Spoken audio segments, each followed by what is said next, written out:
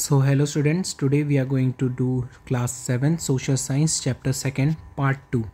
So in the previous lecture we have done till the um, till everything till Rashtrakutas. Today we have to do after Rashtrakuta from Rajputs. Okay.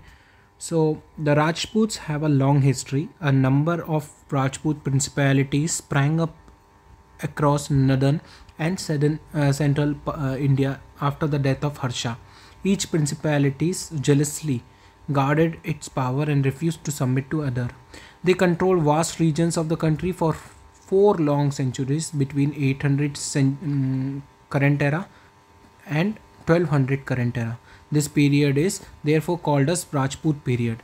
But intensive war and constant rivalry weakened them so when invader from the northwest appeared on the country's frontier in the 11th and 12th century, they gradually failed to present a united front and lost their independence one by one due to the stubborn independence and rivalry. A foreign race established its sway over the whole country.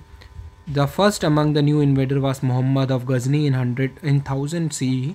He had a face he had to face a loose Rajput confederation but overcame it. So so, यहाँ पे राजपूतों का लिखा है कि राजपूतों का एक बहुत बड़ा इतिहास रहा है ठीक है? सो so, राजपूत की जो सबसे बड़ी जगह थी वो कहाँ पे थी? नॉर्थ और सेंट्रल इंडिया में थी ठीक है? कि कब बना? हर्षा हर्षा जो राजा था उसके ख़त्म होने के बाद जब इंडिया छोटे छोटे पार्ट में डिवाइड हो रहा था तब राजपूतों ने सबसे बड़ी बढ़त बनाई ठीक है?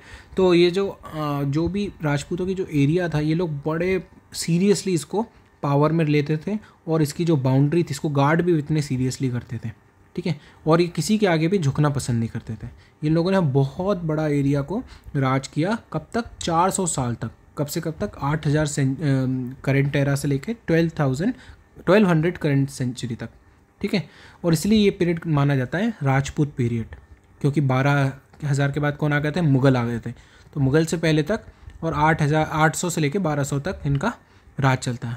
बट इन लोग में क्या था, आपसी में बहुत लड़ाई थी। एक राजपूत राजा की दूसरे राजपूत राजा से नहीं बनती थी और एक दूसरे से लड़ते रहते थे, जिसके कारण ऊपर के जो लोग थे, जो कि अफ़गानिस्तान और जो हिंद कुश माउंटेन के उस साइड के जो लोग थे, वो लोग ने देखा कि इंडिया में कोई एकता नहीं है और इन लोग की यदि अपन वार करेंगे तो जीत सकते हैं।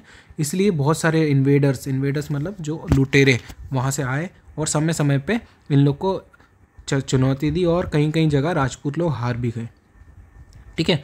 सो इन लोग की और भी वजह थी, ये लोग अपने आप को इंडिपेंडेंट मानते थे, ठीक है? और बिल्कुल किसी की भी मदद नहीं करते थे, एक दूसरे को मदद नहीं करते थे जब मुसीबत में आते थे। तो इसी का फ़ायदा उठा के सबसे पहले इन्वेटर कौन था? मोहम्मद गजनी आया एक हज़ार सी में तो इसके इनको हार महसूस करनी पड़ी। ठीक है? यही मोहम्मद गजनी है, इसने कहाँ पे हमला किया था? सोमनाथ मंदिर में।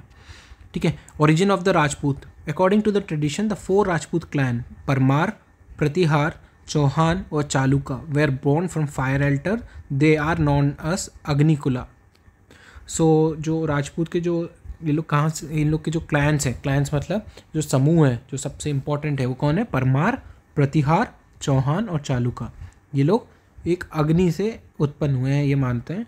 और इनको क्या बोला जाता है? अग्निकुलास ठीक है? फिर आगे पढ़ते हैं welfare welfare for wealth the Chauhans of Ajmer and Delhi the Chauhan dynasty was founded by गवकुट in the eleventh century C Ajay Deva a Chauhan ruler conquered Ajmer and Vishala Deva conquered Delhi in the twelfth century in the in this way the Chauhan became the lord of Delhi and Ajmer Vishala Deva Chauhan was the great lover of literature but Prithviraj Chauhan 1168 to 1192 was the greatest ruler of the dynasty. Prithviraj Chauhan was the courageous warrior. He achieved the exploit have his achievements and exploits have been described by the court poet Chandra Chand Bardai in his favorite in his famous book Prithvi Raj Raso. Okay. Thus, we see from that six 47 CE to 1192 CE, India remained divided into many small Rajput states. The Rajput ruler often quarreled among themselves. However, they as they lived side by side and many of them were allied through marriage, a common and civilization, a common civilization and culture development over this long period. Their forts and temple and other monuments are exa- excellent example of their art and architecture, sculptures and painting so जो चौहान थे अजमेर और राजपू sorry Delhi के इनके बारे में बात हो रही है। ठीक है? सो ये लोग ने कौन सा क्या फाउंड किया? इन्हें गवकुट डायनेस्टी को फाउंड किया कब कब फाउंड किया? इलेवेंथ सेंचुरी में। ठीक है? तो जो अजय कौन सा डायनेस्टी था? गवकुट। ठीक है? और अजय देवा जो एक चौहान रूलर था इनने किस पे राज किया? इसमें सबसे पहले इनने अजमेर पे कब्जा किया और विशाला देव और इनके फिर अगला रूलर था विशाला देवा इनने दिल्ली पे राज किया। कब? ट्वेल्थ सेंचुरी में। ठीक है? इसी के साथ ये लोग दिल्ली के राजा, दिल्ली और अजमेर के राजा बन गए। Vishal Dev Chauhan was the great lover of literature ये जो विशाल देव राजा थे, ये बहुत बड़े लिटरेचर के लवर थे। लिटरेचर मतलब जो किताबें होती हैं, किताबों से मिलने वाला ज्ञान होता है, इनके बड़े शौकीन थे। But Prithviraj Chauhan was the greatest ruler of the dynasty Prithviraj Chauhan का नाम आपने सुना होगा, ये सबसे बड़े राजा थे जो कि इस सदी के, इस टाइम के और इस डायनेस्टी के सबसे बड़े राजा थे। ठीक है? ये बड़े करेजियस राजा थे। करेजियस मतलब बहुत निडर थे, बिल्कुल हिम्मत, बहुत हिम्मत वाले राजा थे। इनके अचीवमेंट्स वगैरह को सबको एक उनके पोएट ने, जो उनके कोर्ट में बैठा था, राजा लोग का कोर्ट होता है, उसमें एक पोएट बैठा था। उसने, उसका नाम क्या था? ना चाँद बरदई। चाँद बरदई ने अपनी फ़ेमस बुक में लिखा है, जिसका नाम था पृथ्वी राज रासो। ठीक है? फिर इसके बाद क्या था? सिक्स सेवन फोर सी से लेके इलेवन नाइन्टी टू से इंडिया को बहुत छोटे छोटे पार्ट में इंडिया बहुत छोटे छोटे राजपूत स्टेट्स में डिवाइड हो गया। ठीक है? तो राजपूत रूलर ये क्या थे? आपस में लड़ते थे और अपने आजू बाजू रहते थे। ठीक है? एक दूसरे के आजू बाजू भी रहते थे। और कई लोगों का क्या था? एक दूसरे से संबंध भी थे, जिस शादी ब्याह से जो संबंध बनते हैं, उससे इन लोग के एक दूसरे से शब्द संबंध भी थे। इनके जो फोर्ट्स टेंपल और मोनूमेंट्स वगैरह हैं, ये सब एक एग्जाम्पलरी एग्ज़ाम्पल है। ठीक है? फिर art and architecture sculptures and painting के। ठीक है? फिर क्या आएगा? टर्किश इन्वेशन के बारे में पढ़ते हैं। इसके बाद टर्किश इन्वेशन हुआ। टर्किश मतलब जो टर्की में लोग रहते हैं, इन लोगों ने इंडिया पे अटैक किया। ठीक है? The first of this invader was Mohammad of Ghazni Ghazni was a small kingdom in Afghanistan it was founded in by Turkish slave Alptigin in the 10th century CE. He was succeeded by Shuptkin Jaipal, a ruler of the Hindu Shahi dynasty in Afghanistan and Punjab, fought several battles against the invasion of Suptkin. Soon after Suptkin died in 997 CE, his elder brother Muhammad of Ghazni ascended the throne. So जो Turkey था यहाँ पे का सबसे बड़ा invader कौन था Mohammad of Ghazni मतलब जो जिसने सब जगह कब्जा किया ठीक है एक छोटा सा किंगडम अफ़गानिस्तान से उठ के आया अफ़गानिस्तान में पहले क्या होता था स्लेव लोगों का राज होता था स्लेव क्या होते थे? कुछ लोग होते थे जो कि राजा लोग खरीद लेते थे और अपने सैनिक बना लेते थे। फिर धीरे धीरे वो लोग बहुत पावरफुल हो जाते थे अपने सेना में रह के और वो अपने राज का कब्जा कर लेते, राज पे कब्जा कर लेते थे। कभी राजा को मार के या राजा खुश होके उनको कुछ एक राज्य दे देता था। तो उनमें से एक स्लेव था, जिसका नाम क्या था ना? अलप्तगिन। ठीक है, अलप्तगिन। कब था ये? टेंथ सेंचुरी सीई में था। ठीक है, फिर इसके बाद कौन आया? सुप्तगिन। सुप्तगिन जो था ये इसके बाद आया अलप्तगिन के बाद आया, ठीक है? तो जयपाल जो थे, जो एक हिंदू शाही रूलर डायनेस्टी से थे, अफ़गानिस्तान और पंजाब के राजा थे, इन, इनके ऊपर सुप्तगिन ने कई हमले किए, ठीक है? पर सुप्तकिन कब ख़त्म हुआ? नाइन नाइन सेवन में ख़त्म हो गया, फिर इसके बाद कौन आया? मोहम्मद अफ गजनी ठीक है? और उसने आके सत्ता पे कब्जा किया। फिर आगे पढ़ते हैं। After his accession he had as many as seventeen expedition against India इसकी सत्ता में बैठने के बाद मोहम्मद गजनी ने इंडिया पे कितने बार हमला किया? सत्रह बार। ठीक है? सत्रह बार। फ्रॉम कितना? Thousand C to one thousand and twenty seven C मतलब सत्ताईस साल में सत्रह हमले करे इसने इंडिया पे। He learn that the temple of India had immense amount of gold and jewellery and precious stone In his quest to annex the, this wealth, he destroyed many temples of northern India. Some of his famous campaigns were against Nagarkot, Thaneshwar, Kannauj, and Mathura. Of all his expedition, his plunder and destruction of the famous Somnath temple of Saurashtra in the course of the 16th, uh, 16th invasion in 1025 to 26 CE brought him by far the most loot estimated to then worth 20 million dirhams. So actual में क्या हुआ कि इसने एक हज़ार से लेकर एक हज़ार सत्ताईस तक सत्रह बार इंडिया में हमला करा। इसको ये पता लग गया था कि इंडिया के जो टेम्पल्स हैं, इसमें बेशुमार सोना और जेवरात वगैरह मिलेंगे। इसको देखते हुए इसने इंडिया में नॉर्थ साइड में कई जगह पे हमला करा। कौन सी कौन सी जगह थे? जैसे नागरकोट, थानेश्वर, कन्नौज, मथुरा, इन सब जगह पर हमले करे। उसमें सबसे फ़ेमस हमला किस पे था? सोमनाथ मंदिर पर ठीक है? इसने इस पर सोलह बार के बराबर कहीं इसमें इसमें इसने वार किए थे। ठीक है, इतने बार लूटा था। और सबसे ज़्यादा लूट इसको इसी मंदिर से मिली थी, जिसके बाद इसको, इसके पास अराउंड बीस मिलियन डिरम्स डिरम्स मतलब आज यू e की करेंसी है डिरम्स बीस मिलियन मतलब दो करोड़ डिरम्स ठीक है? दो करोड़ डिरम्स के बराबर थी। डी दो करोड़ डिरम्स मतलब इंटू ट्वेंटी कर दोगे तो आपको पता लग जाएगा कि इंडियन रुपीज़ के हिसाब से कितना होता है। ये होता है फोर्टी करोड़ रुपए। उस ज़माने के फोर्टी करोड़ रुपए इसने सोमनाथ मंदिर और आसपास के एरिया से लिए थे।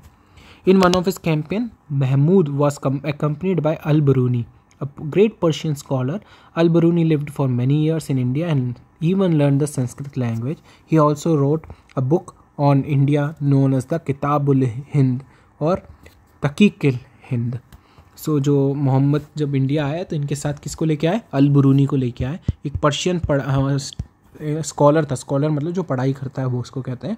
तो ये बहुत साल तक इंडिया में रहा और इसने संस्कृत भी सीख ली और अब एक बहुत फ़ेमस किताब लिखी थी इसने, जिसका नाम था किताब उल हिंद और तारीख इन, ए हिंद, जो इसने इंडिया के बारे में लिखी थी। ठीक है? फिर इसके बाद हम पढ़ते हैं मोहम्मद गौरी के बारे में। After Mohammad died in Uh, 1030 CE, India enjoyed a respite of about a century and a half from foreign invasion. Turkish ruler remained confined to Punjab. Then a Seljuk Turk leader, Shihabuddin Muhammad Ghori, drove out the Ghaznavi ruler and founded the kingdom of Ghori on its ruin. The, within five years of his accession to th- throne, he raided the domination of Anhilwara by Multan, but it ruler drove him back with severe losses in eleven ninety one C E he succeeded his annexation Punjab and camp near Sirhind a border town of the Chauhan dominion as a result Prithviraj Chauhan attack Mohammad Ghori so यहाँ पर क्या हुआ? अब आया मोहम्मद गौरी महमूद के महमूद गौरी गजनवी के died ख़त्म होने के बाद वहाँ पर क्या हुआ? अब कुछ भी लोग सरकार में थे, उनकी कोई इज़्ज़त नहीं थी। ठीक है? तो इसको पलटते हुए कौन आया? मोहम्मद गौरी आया, जिसने गजनवी को वहाँ से हटा के अपना एक नया एम्पायर बना दिया, जिसका नाम था गौरी एम्पायर ठीक है? इसने पाँच साल में अपना कब्ज़ा कर लिया, कब्जा थ्रोन पे थ्रोन मतलब सिंहासन पे इसने कब्ज़ा कर लिया। ठीक है? फिर इसने क्या किया? रेड किया अहिन वाला पे बुलतई से हमला किया, मुल्तान जो आज अफ़गानिस्तान में वहाँ से हमला किया अहिन वारा पे। ठीक है? मगर वहाँ का जो राजा था, इसने उसको वहाँ से हरा के वापस भगा दिया। फिर इसने क्या किया? 1191 में इसने क्या किया? पंजाब के पास में, सरहिंद जगह पे आके इसने वहाँ पे अपनी जगह रोक दी। मतलब उसके बॉर्डर पे आके बैठ गया और फिर इसने पृथ्वीराज चौहान के साथ दो वॉर लड़े जिसका नाम था battle of Tarain battle of Tarain ठीक है, कौन से, कितने बैटल हुए थे? वन और टू अब पढ़ते हैं उसके बारे में। The first battle of Tarain was fought at fought at Hmm, fought in 1191 CE between Prithviraj Chauhan and Muhammad Gauri. In this battle, Gauri had a flee from the battlefield with bleeding wounds. Next year, he returned better prepared to fight Prithviraj. The second battle of Terrain, fought in 1192 CE, is regarded as a turning point in Indian history because Prithviraj was defeated, taken captive, and ultimately executed. Thus, just a few battles in the plain of northern, India, northern western during a short period of fourteen year change the Indian feet अब क्या हुआ? First battle of terrain बताएँ तो eleven ninety one में हुआ, ठीक है? सी ई में। अब इस समय क्या हुआ? इस समय पृथ्वीराज चौहान ने मोहम्मद गौरी को अच्छे से हरा दिया और मतलब ब्ली मतलब उसको पूरा हरा के चोटिल करके वापस भेजा। मगर जब वो नेक्स्ट ईयर वापस आया तो तब कौन सी बैटल हुई? तब बैटल हुई सेकेंड बैटल ऑफ़ टेरेन तब मोहम्मद गजनवी अच्छे से प्रिपेयर होकर आया था, बहुत बड़ी फोर्स लेके आया था अपने साथ और उसने राजा पृथ्वीराज चौहान को डिफीट कर दिया और अपने साथ बंदी बना के ले गया और उसके बाद उनको सूली पे चढ़ा दिया, ठीक है? और इसके साथ इंडिया के जो बॉर्डर थी ऊपर का जो एरिया था, इस पर हम एक राज हो गया जिसका जो कि गौरी एम्पायर का था, ठीक है? और ये ऊपर का एरिया पूरा इंडिया का पूरा इतिहास बदलने वाला है। आने वाले समय को पूरा ये वाला अटैक जो पृथ्वीराज चौहान का जो डिफीट था, ये पूरे इंडिया को बदल के रख देगा। तो अब आगे पढ़ते हैं क्या है? Administration new king adopted many high sounded title like Maharaj Adhiraja and Tribhuvan Chakravartin the official were mainly recruited from influential family and their position were hereditary this was true for both the army as well as the revenue collecting machineries One of the biggest changes which took place during the medieval period was in the system of land revenue collection. The king did not have direct control over revenue collection in the medieval period due to the feudal setup. This change in the revenue system had downstream effect on the other aspect of life as well. So so, जो इस ज़माने के राजा लोग थे ये अपने आप को बड़ा बड़ा टाइटल देते थे महाराज अधिराजा मतलब मैं राजाओं का भी राजा हूँ ठीक है त्रिभुवन चक्रवर्तिन मतलब अलग अलग इनके संस्कृत में जो टाइटल्स होते थे, इन सबको अपने अपने नाम ले लेते थे, एक दूसरे से ऊपर बताने के लिए। किसी ने अपने आप को महाराज बोल दिया तो वो उसको क्या बोलते थे? उसके बढ़कर कुछ नाम रखना है तो वो बोलते थे, अब हम महाराज आदि राजा हैं। मतलब महाराजाओं के भी राजा हैं। यदि उसको किसी ने डिफीट कर दिया तो वो अपना टाइटल ऐसा रख लेता था। तो इस ज़माने में फिर क्या होता था जो ऑफिशियल्स लोग रहते थे, वो क्या होता था हेरिडिटी पोस्ट थी मतलब एक राजा, एक आदमी ख़त्म हुआ, एक अधिकारी ख़त्म हुआ तो उसका बेटा उसकी जगह ले सकता है। ऐसे ही आर्मी में भी जो इंपॉर्टेंट जगह थी, वो सब ऐसे ही लोग ले सकते थे और यही लोग टैक्स भी कलेक्ट ऐसे ही लोग करते थे। तो इसने पूरा रेवेन्यू सिस्टम को बदल के रख दिया इस ज़माने के, ठीक है? फिर आगे बढ़ते हैं। After the after this decentralized system. Officer were not paid their salary in ca- cash rather than land grants.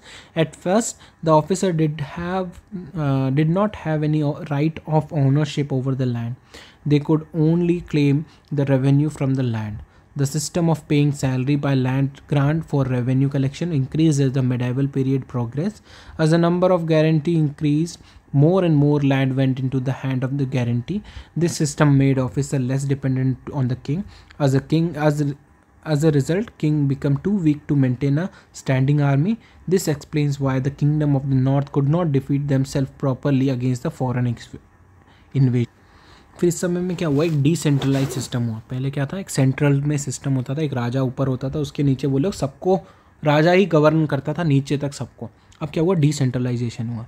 इसका मतलब ये था, जो ऑफिसर लोग थे, उनको अब सैलरी नहीं दिया जाता था। ठीक है? इस समय में क्या हुआ? उनको सैलरी नहीं दी जाती थी, उनको बोलते थे, आपको हम ज़मीन देंगे। ठीक है? मगर आपका उस ज़मीन पर मौलिकाना हक नहीं है, आप उससे कोई कमाई नहीं कर सकते। मगर उसकी सैलरी के साथ साथ धीरे समय के साथ साथ क्या हुआ? उसको बहुत ज़मीन मिलती गई और एक समय में उसके पास इतनी पर्याप्त ज़मीन हो गई कि वो राजा का अधिकार भी नहीं मानता था। ठीक है? राजा को कुछ मानता ही नहीं था, इतना पावरफुल बन गए। और इसी के साथ क्या अपन को पता लगा कि राजाओं की पावर उस समय क्यों कम हुई और बाहर के लोग आके राजा को कैसे हराने लगे? ठीक है, फिर आगे पढ़ते हैं क्या लिखा है? The feudatories were very jealous of each other when a feudatory felt that he had become powerful enough he would declare his independence from the central authority और king often the king was too weak to stop the feudatory from doing so thus the Rashtrakuta who began a feudatory of the Chaluka, declared their independence and officially cast off the Chaluka yoke. Similarly, the Chola in the south had also began a feudatory and became a ruler later. So feudatory क्या होता है जब एक ऊपर एक राजा होता है जो नीचे मतलब एक आदमी राजा होता है ठीक है एक किंग होता है मान के चलो उसके नीचे जब लोग होते हैं तो ये फ्यूडल कहते हैं अपन ठीक है किसी चीज़ पे कोई जब राज करता है तो ये फ्यूडिटरी होता है सो so, ये जो फ्यूडिटरी मतलब जो नीचे के लोग थे ये एक दूसरे से बड़े जलते थे ठीक है? इनके पास बड़ी पावर आ गई और इनने क्या हुआ? जैसे जैसे पावर आती रही तो इनने क्या किया? अपने आप को राजा से इंडिपेंडेंट घोषित कर दिया। बोला कि हमारे पास अब राजा से ज़्यादा ज़मीन है और हम राजा को चुनौती दे देंगे। तो राजा डर के मारे क्या करता था? ठीक है, तुम आज़ाद हो जाओ। यदि इसने मुझे हरा दिया तो सब मुझे हरा देंगे। तो राजा भी कहता था, ठीक है, तुम चुपचाप से आज़ाद हो जाओ। तो ये लोग अपने आप को राजा की इज़्ज़त नहीं करते थे। और ऐसे ही करके कितने सारे किंगडम बन गए। उनमें से एक था राष्ट्रकुटा, जो कि चालुका के अंदर था। एक फ्यूडिटरी था। चालुका का ठीक है? और उसने धीरे धीरे अपने आप काटा और इतना बड़ा किंगडम बन के अलग हो गया। और ऐसे ही था चोला, जो कि साउथ में बना और एक फिडिटरी था और फिर लीटर ऑन एक रूलर बन के उभरा। ठीक है? फिर आगे पढ़ते अपन क्या है? प्रशस्ति एंड लैंड ग्रांट ठीक है? Prashasti gives us information about the various activities of the kingdom such as land grant administration war victories title etcetera written on behalf of the king by the learned man. This prashasti were recorded on stone, slabs, copper plate, on the wall of temple, etc. One prashasti written in Sanskrit and and found in Gwalior MP describes the exploit of Nagabhatta, the Parthian king as follows. So प्रतिष्ठि क्या होती थी? प्रशस्ति प्रशस्ति मतलब एक तरीके का एक कोर्ट में राजा होता है। उसके अंदर जो छोटे छोटे लोग ऑफिसर्स होते हैं, वो लोग अपने राजा को खुश करने के लिए बड़ी बड़ी चीज़ें लिखते थे राजा के बारे में, कि राजा की तारीफ़ करने के लिए। तो राजा इनसे क्या करता था? तारीफ़ें लिखवाता था जगह जगह पर कहाँ पर कहाँ कहाँ लिखवाता था? पत्थरों पर लिखवाता था। स्लैब्स पे लिखवाता था कॉपर के प्लेट पे लिखवाता था दीवारों मंदिरों की दीवार पे लिखवाता था कि राजा की तारीफ़ें कौन सी कौन सी लैंग्वेज में? अलग अलग लैंग्वेज में अपने अपने राजा की जो लैंग्वेज होती थी, वो सब लिखवाता था। उसको कहते थे अपन प्रशस्ति। सो ऐसे ही प्रशस्ति ग्वालियर में भी मौजूद है, जिसमें एक नागभट्टा राजा था, पार्थियन रूलर ठीक है? ये संस्कृत में मौजूद है, जो उसके बारे में लिखा हुआ है। तो पढ़ते हैं क्या लिखा है। The king of Andhra Saindava Vidarbha and Kalinga fell before him even as he was a prince. He won a victory over Chandrayukta, the ruler of Kannauj. He defeated the king of Vanga, Anartha, Malwa, Kirit, Trusha, Vatsa, Matsa, kingdom in north India so जो ये rural था Parthian ruler Nagabhatta इसके बारे में यहाँ क्या लिखा है कि नागभट्टा जो रूलर था, इसने आंध्रा में राज किया, सिंध में राज किया और महाराष्ट्र में राज किया, उड़ीसा में राज किया और इन सब के जो राजा थे, इसके पैरों पे आके गिर गए। ठीक है? इसने बड़े बड़े युद्ध लड़े, जैसे कि कन्नौज में इसने जीत ली और इसने कहाँ कहाँ के राजाओं को हराया? यहाँ लिखा है वंगा वंगा मतलब बंगाल अनर्था अनर्था मतलब गुजरात, मालवा मतलब एमपी, कीरता मतलब फॉरेस्ट के लोग, तुरुषा मतलब तुर्क और वत्सा, मात्स्या, ये सब एक किंगडम थे। इन सबको इसने डिफीट करा है। ठीक है, ये सब लिखा है यहाँ पे। फिर अपन किसके बारे में पढ़ते हैं यहाँ पे? चोलास के बारे में पढ़ते हैं। At the beginning of the period of study there were only three kingdom Chera, Chola and Pandya in South India this kingdom have also been mentioned in Ashoka edict the Pallava and the Chalukya emerge in the fourth century C both this empire ruled over the region for four hundred years But in the 9th century CE, the Chola started emerging as a military power in South India. They were initially a minor feudal clan known as a Muttaraiyar and were subordinate to the Pallava king of Kanchipuram. Vijayala founded Chola dynasty by conquering Tanjore. The Chola dynasty had many kings, but the outstanding one were Raja Raja I and his illustration illustrious son Rajendra Chola. So so, अपन यहाँ पे पढ़ेंगे चोलास के बारे में। तो initially सबसे south में कौन सी तीन सबसे बड़ी किंगडम थी? चीरा चोला और पांडा पांड्या। ठीक है? पांडा। तो ये साउथ की सबसे बड़ी किंगडम थी। इनके बारे में अशोका ने भी अपने एडिक्ट्स में लिखा हुआ है। ठीक है? जो पल्लवा और चोला थे ये कब इमर्ज हुए? फोर्थ सेंचुरी में इमर्ज हुए। और वो अब जब मैं फोर्थ सेंचुरी कह रहा हूँ तो आपको क्लियर होना चाहिए कि फोर्थ सेंचुरी मतलब 300 से लेके 399 ईयर 300 से लेके 399 सीई तक बात हो रही है। ठीक है? फोर्थ सेंचुरी बोलेंगे तो। अब ये दोनों एम्पायर में क्या हुआ? 400 साल तक राज किया ठीक है? और इनकी नाइनटीन सेंचुरी में क्या हुआ? द चोला स्टार्टेड इमर्जिंग अब चोला ने इन सब पे पावर बनना चालू करा और एक ग्रेट पावर बन के उभरा। ठीक है? इनिशियली ये क्या थे? चोला जो थे, ये फ्यूडल थे। कौन के? मुते मुट्टा रैयार के। मुट्टा रैयार नाम था। इस, इनके फ्यूडल थे। ठीक है? तो ये नहीं, मुटे, ये माइनर फ्यूडल क्लैन थे। क्लैन मतलब एक लोगों का समूह जब एक साथ रहता है, अपन उनको कहते हैं क्लैन जब ये लोग साथ में फिर आगे बढ़ते हैं, कहीं पे भी जाते हैं तो साथ में आगे बढ़ते हैं तो पहले जैसा नहीं मतलब आज के जैसा नहीं होता था। गाँव ऐसा होते थे कि ये लोग क्लैन होते थे, एक गाँव में एक परिवार के लोग रहते थे। यदि इनको एक जगह से दूसरी जगह जाना रहता था तो सब के सब इकट्ठे जाते थे। तो ये क्लैन बोलते थे अपन इनको। तो ये कौन से क्लैन से थे? मुट्टू रैयार क्लैन से थे। एंड ये लोग किसके अंडर थे? कांचीपुरम के किंग पल्लवा रूलर के अंदर थे। फिर जो एक विजाला के बारे में बात हो रही है, यहाँ पे एक विजाला विजय याला ठीक है? इनने चोला डायनेस्टी को फाउंड किया, का कैसे? तंजूर पे राज करके, ठीक है? अब इस, इसमें बहुत बड़े चोला डायनेस्टी के बहुत बड़े बड़े राजा थे, जैसे राजा राजा फ़र्स्ट और उनका बेटा राजेंद्र चोला, इनके बारे में पढ़ते हैं। तो राजा राजा फ़र्स्ट कब से कब तक था? नाइन एट फाइव से लेके वन ज़ीरो वन फोर तक। He was a brilliant general and campaigned in many directions. His achievements were remarkable. He extended his rule to the north as far as Kalinga. His capital was Tanjore. He also conquered the island of Sri Lanka. Raja Raja was not only a great conqueror but also a capable administrator. He made many reforms in the revenue administration and took measures for the welfare of the peasants. Rajaraja was a great, also a great builder. His most famous monument in the Rajarajeshwar temple of Shiva at Tanjore. It is the finest specimen of Dravidian architecture. तो राजा Raja first ने कब से कब तक राज किया 985 से लेके 1014 तक राज किया ये बहुत ब्रिलियंट जनरल थे और इनके जो कैंपेन थे कैंपेन मतलब इन्हें जहाँ जहाँ भी लड़ाई लड़ने गए हर डायरेक्शन में गए ठीक है इनके जो अचीवमेंट्स थे ये भी बहुत सारे थे इनने नॉर्थ से लेके कलिंगा तक राज किया। मतलब नॉर्थ मतलब ऊपर से लेके कलिंगा मतलब उड़ीसा तक राज किया। इनकी जो कैपिटल थी, कहाँ पे थी? तंजूर में थी, तंजूर। ठीक है? और इनने श्रीलंका में तक राज किया है। ठीक है? श्रीलंका को भी अपने अंदर कर लिया था। ठीक है? राजा राजा एक ग्रेट कॉन्करर थे और एक केपेबल एडमिनिस्ट्रेटर भी थे। इनके ज़माने में रेवेन्यू एडमिनिस्ट्रेशन भी बहुत अच्छा था और पीपल जो जो किसान लोग थे, उनके वेलफेयर के लिए भी काम होता था। वेलफेयर मतलब उनकी भलाई के लिए भी काम होता था।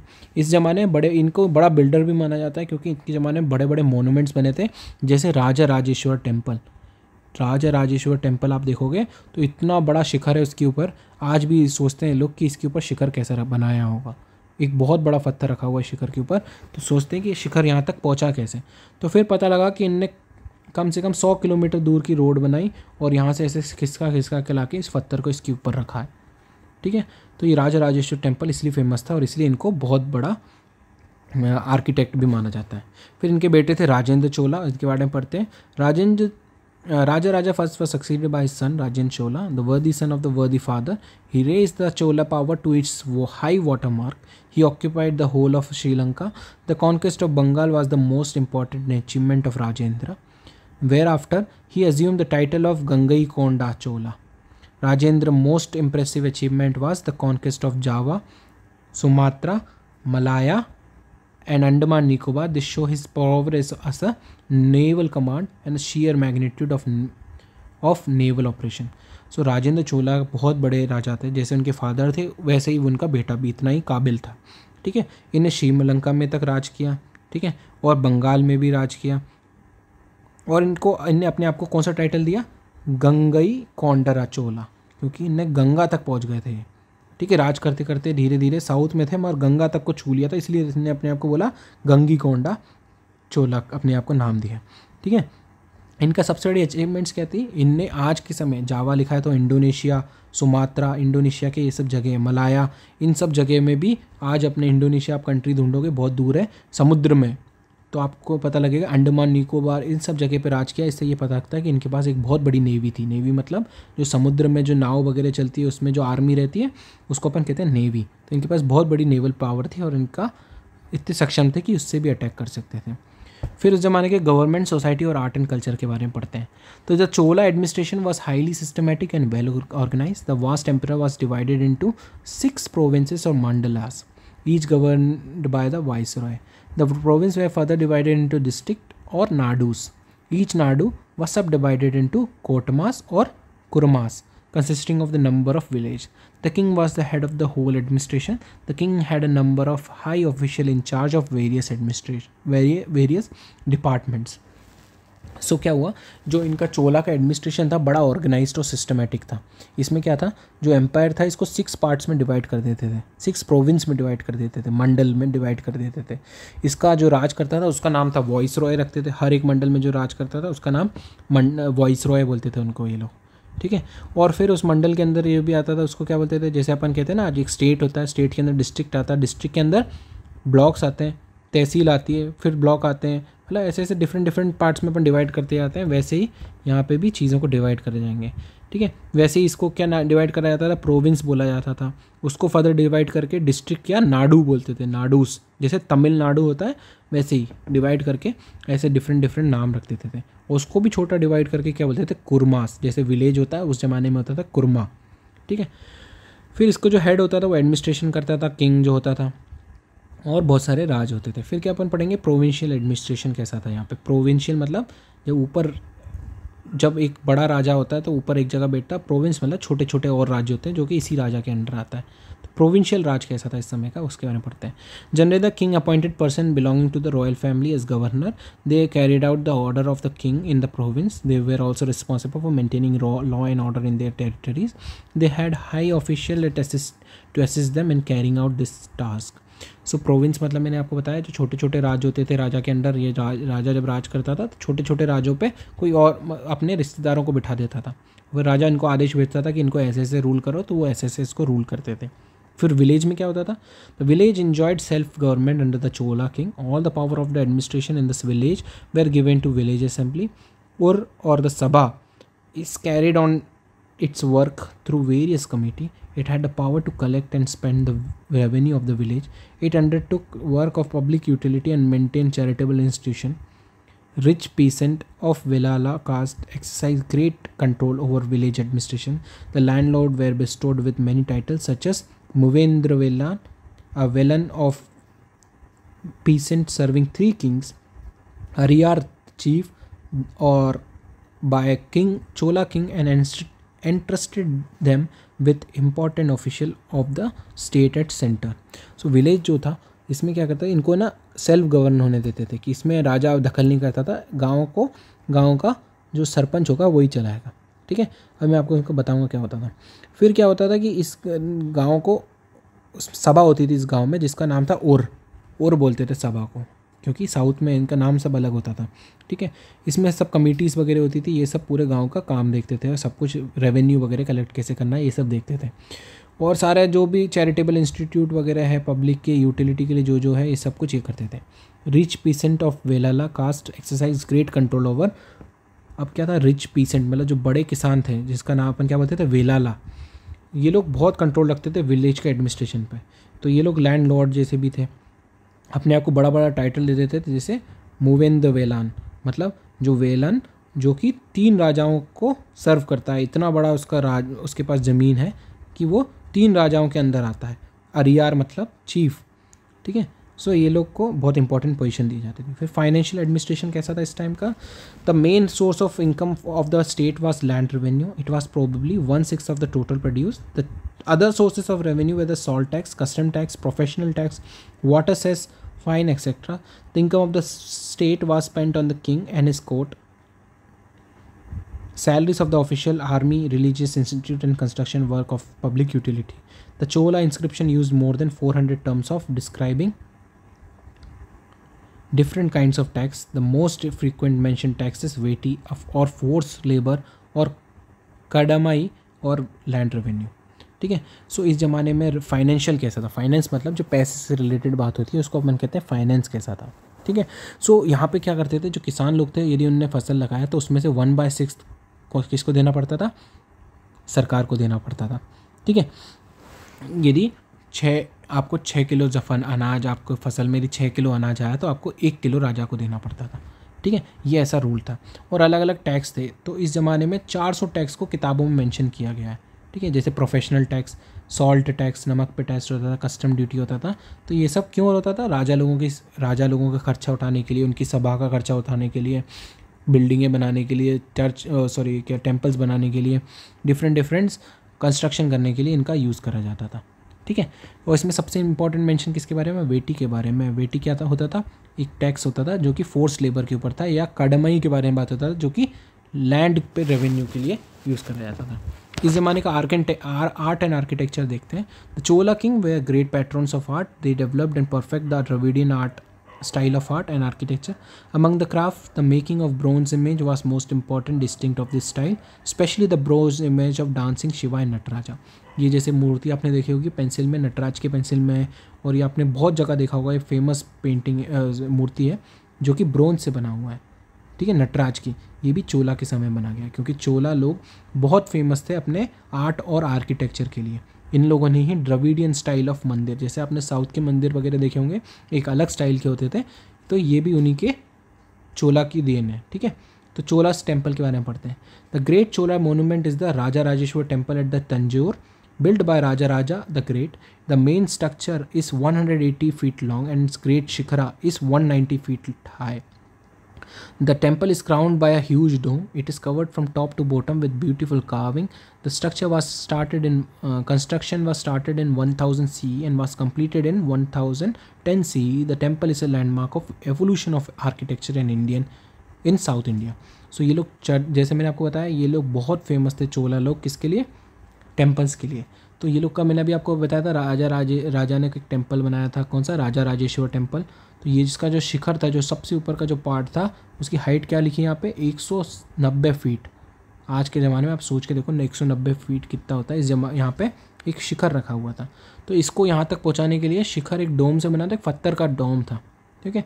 तो इसको बनाने के लिए जैसे मैंने बताया, एक स्लांट करके इनने एक रोड बनाया जिसको धर, जैसे एक पत्थर यहाँ से खिसका खिसका जे वगैरह तो होती नहीं थी, क्रेन भी नहीं होती थी तो यहाँ से लोगों ने खिसका खिसका के इसके ऊपर पहुँचा सकें, ऐसा एक रोड बनाया टेंपल के बाजू में, ठीक है? वो भी सौ किलोमीटर के आसपास का रोड था, ठीक है? ऐसा आर्किटेक्चर होता था, इसलिए ये लोग बहुत फ़ेमस थे, इस टेंपल को बनाने में कितने साल लगे? वन थाउज़ेंड से लेके वन थाउज़ेंड टेन तक में बना मतलब दस साल लगे, टेन ईयर्स लगे इस टेंपल को बनने के लिए। ठीक है, और ये एक साउथ का सबसे बड़े टेम्पलों में से एक है। Another great monument of the Chola empire was a temple of Gangai Konda Cholapuram which was built during the reign of Rajendra first its design and style were similar to those of the other temples famous temple of Tanjore the Rajeshwar temple the main temple is built on the rectangle which is two forty feet broad the mandapa of the temple is supported by one fifty pillars so एक और जो famous चोला लोग का temple है, उसका नाम है गंगई कोंड चोलापुरम ये किसके टाइम पे बना था? राजेंद्र फ़र्स्ट के टाइम पे बना था। राजेंद्र फ़र्स्ट क्या? राजा का नाम है। इसका डिज़ाइन और सब कुछ से फ़ेमस है ये राजेश्वर टेंपल के जैसे जैसे राजा राजेश्वर टेंपल के जैसे सेम है।